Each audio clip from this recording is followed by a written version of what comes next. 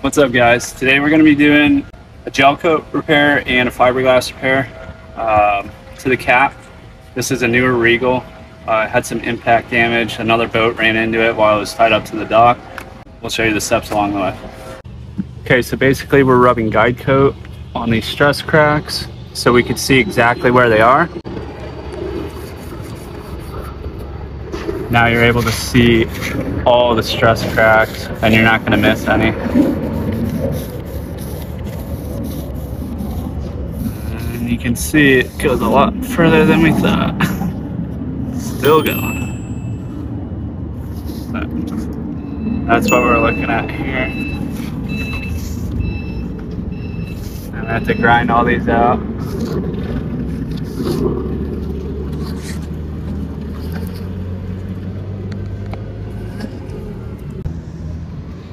basically what we're gonna do is just grind this out, lay some glass on here, and then fill and fair, spray the gel coat.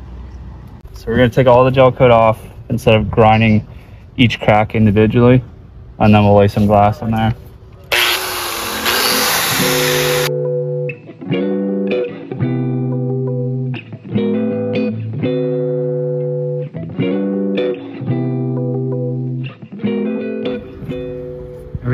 To look like that. Glass wasn't as bad as I thought, so we're just gonna do two layers of uh, ounce and a half. I'm measuring it out. This stuff you want to rip with your hands.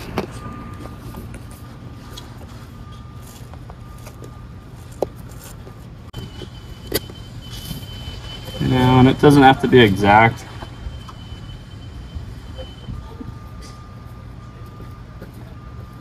Majority of it should be right in there. And you're not gonna you're not gonna go past that with the resin. I'm just gonna tape off there and I'll show you how to apply the resin. I'm gonna do two layers of this. We're using polyester resin. This is above the water line. This is okay for that. We're going straight into uh, fairing and gel coating, so this will be just fine for this repair. The glass doesn't look too bad at all. Basically wet your surface out.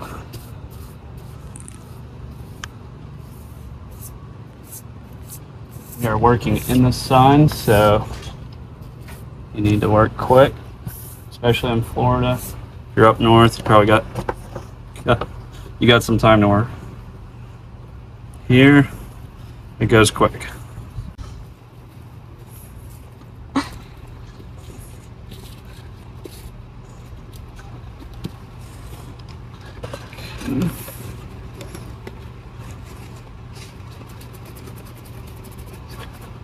Dab it on there and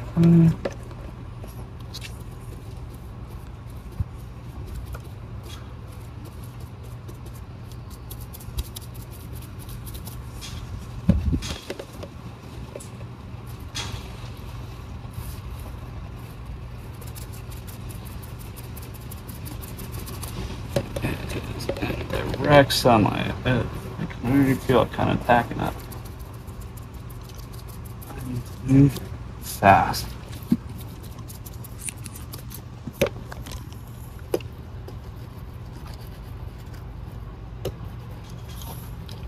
Definitely needs more resin.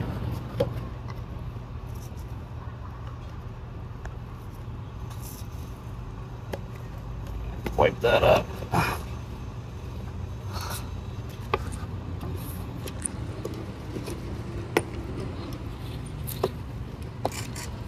Going on. Basically right now we're rolling all the air bubbles out.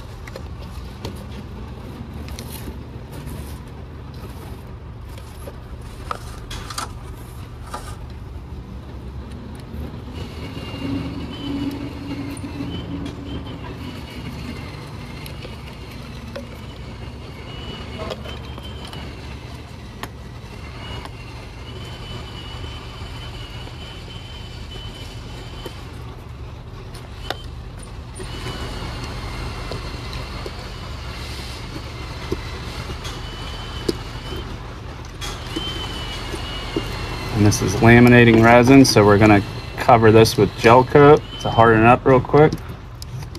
And that'll leave a nice, nice finish to start sanding on. This is dried with the wax on here. I'm actually gonna take some acetone, and wipe it down real quick, and then go over it with uh, 220, and then we'll do the body filler.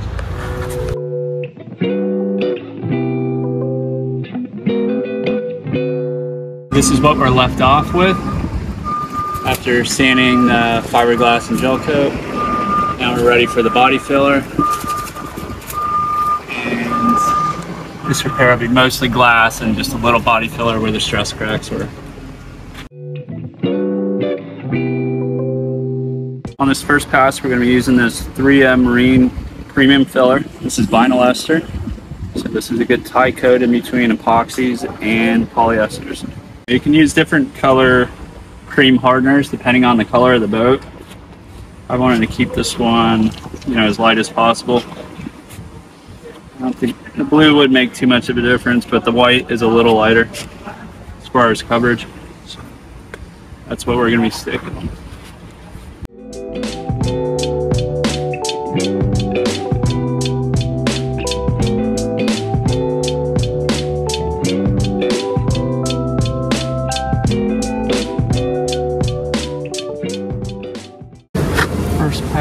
Stuff. I'm to keep it light so that there's not a whole lot of sanding afterward. And come back with the glaze. Fill the rest of our, our imperfections.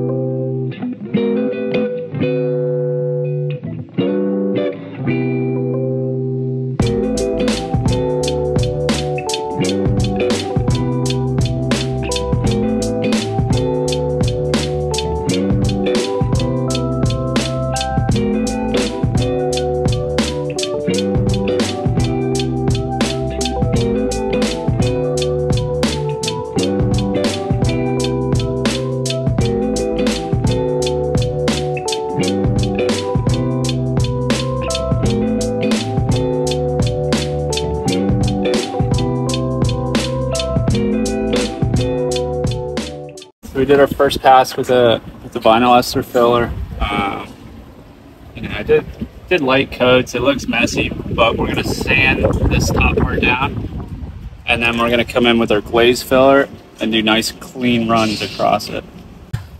You want it to look like this, and then all this little stuff is gonna get filled in with the glaze.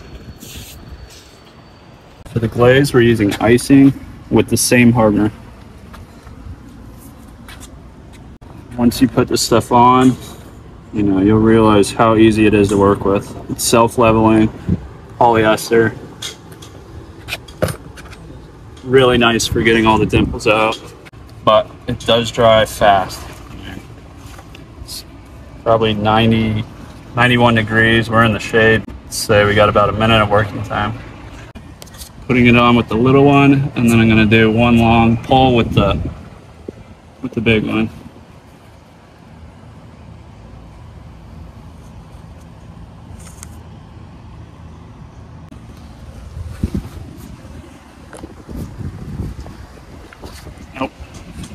Already hardening up, so I'm not gonna do the other side. Gotta clean this up real quick.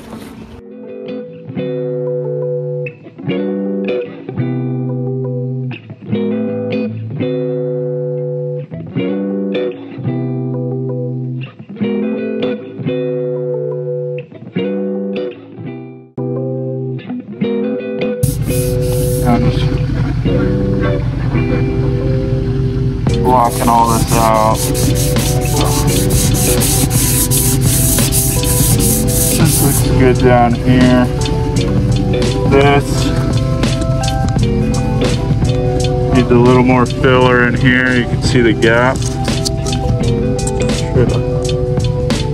You can see the top part up here. There's a little gap. Hold it here. Not so much of a gap.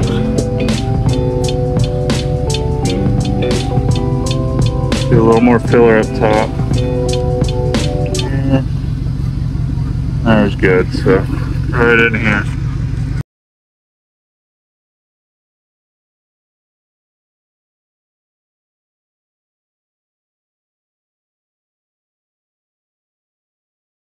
We're gonna do a quick once over with the sander and then get into the blocking. So basically you wanna run your hand over this and not feel any any inconsistencies. If you feel like maybe your finger got stopped, that's a good indication that the filler isn't flush. You're gonna see that when you spray the gel coat, it's gonna be raised. And you're gonna have to do a lot more sanding and possibly burn through to your filler. Feels good. Move on to the next section. Don't keep working it. We mixed basically two ounces of gel coat, one ounce of patch aid, and 2% MEKP, which is the hardener. Shook it up in there real good.